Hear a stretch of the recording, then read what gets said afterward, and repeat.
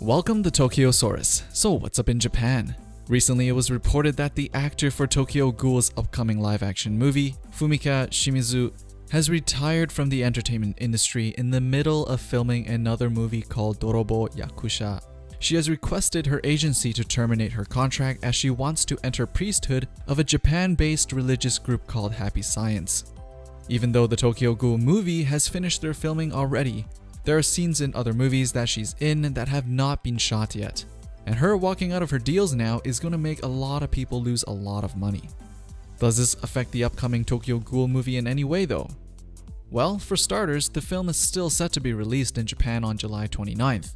But apparently, a Tokyo Ghoul movie sequel was already in the plans, and Shimizu was supposed to reprise her role as Toka Kirishima. If Shimizu is calling it quits, that's going to make things difficult seeing how she's a big character and having a different cast in her role may make things confusing for the audience. They might even need to change the story if they want to follow through with a sequel. For those of you who haven't heard of Tokyo Ghoul or read it before, the series has gotten pretty big over the years, selling over 18 million copies of the manga. So, why is Shimizu quitting in the middle of big contracts with films that will propel her career to the next level? According to Anime News Network, link is in the description below, Shimizu's lawyer, as well as the Happy Science head of PR, held a joint press conference to announce a statement on her behalf. The statement had multiple instances of Shimizu sleeping only 3 hours during her job on the Kamen Rider movie, working every day of the month while only getting 50,000 yen as her compensation. 50,000 yen is about 400 US dollars, which is probably just enough to feed her at this point. She was also forced to wear swimwear, filming DVDs against her will.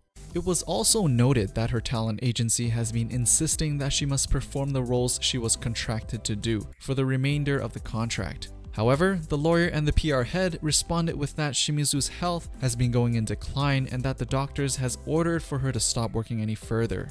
After February 4th, apparently she hasn't been showing up for work at all, and all parties involved are still trying to figure things out. So, what is this happy science religion that was able to pull an actor halfway through a career changing point out and into priesthood? Happy Science is a new religious and spiritual movement founded in Japan on October 6, 1986, by a man named Ryuho Okawa and has been widely criticized as a cult. He originally worked in a prestigious trading corporation prior to founding his own religion. It has since been recognized as an official religious organization in Japan as well as the USA. Okawa himself claims to channel the spirits of several of the most widely known religious figures known in the history of man, and claims to be the incarnation of the supreme spiritual being called El Elkanter.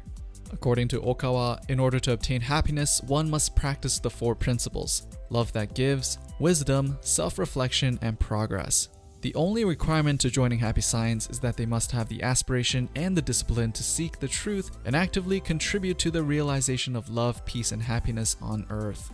Many mainstream media providers or press has constantly slammed the religion as a cult over the years, but it hasn't really slowed their expansion as they're doing conferences even in the States, and they've even got their own YouTube channel now, although only with 200 subscribers. So that's pretty much it. What do you think of this whole fiasco with Shimizu and Happy Science? As usual, let me know in the comments below. Thumbs up the video if you liked it, and follow Tokyosaurus on social media for Japanese culture tweets and video updates. And make sure you're subscribed so you can get the latest things people are talking about in Japan right in your inbox. Thanks for watching and I'll see you guys in the next one.